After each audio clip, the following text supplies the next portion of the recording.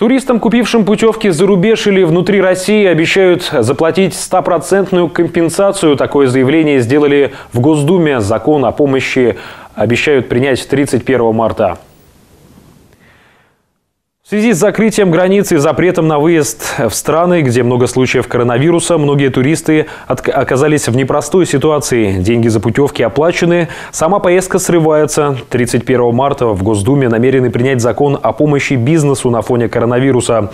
В нем в том числе пропишут пункт о том, что все туристы, которые заблаговременно купили путевки из-за рубеж и внутри России, получат стопроцентную компенсацию и возврат денег. Ни один туроператор не будет иметь права задерживать задерживать средства после принятия закона на этой неделе. Сейчас за рубежом остались примерно 50 тысяч туристов из России.